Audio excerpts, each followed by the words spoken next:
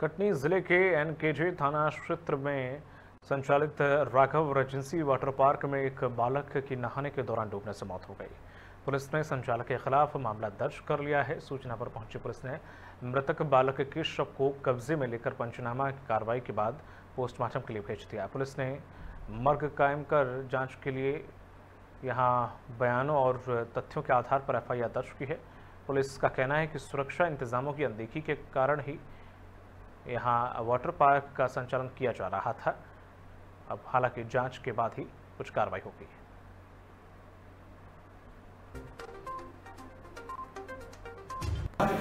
जो संचालक अतुल सिंह के द्वारा उसका रख रखाव संचालन ठीक तरीके से नहीं किया जा रहा था, जिस कारण बच्चे की मृत्यु हुई, जाँच में हमने ये भी पाया, हमारे पास फुटेज उपलब्ध है, जाँच में हमने ये पाया कि अथर बच्चा जो रहा जो कि बच्चों वाले स्विमिंग पूल से बड़े वाले स्विमिंग पूल में चला गया। उस समय मौके पर कोई भी तैराक, कोई भी उनका गार्ड उपस्थित नहीं था, जिस कारण बच्चा पानी में डूबने से बच्चे की मृत्यु हुई।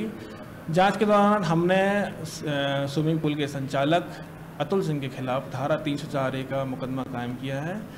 मुकदमा कायम उपरांत हम इस मामले में परिजनों के कथन, गवाह कथन ले रहे हैं। मामले की विवेचना जारी है। सर, इस मामले में जो दस्तावेज़ दिए गए थे, जो होटल के मालिक हैं जी, प्रथम दस्तिया हमने जो भी दस्तावेज़ पेश किए, दस्तावेज़ सही पाए गए हैं।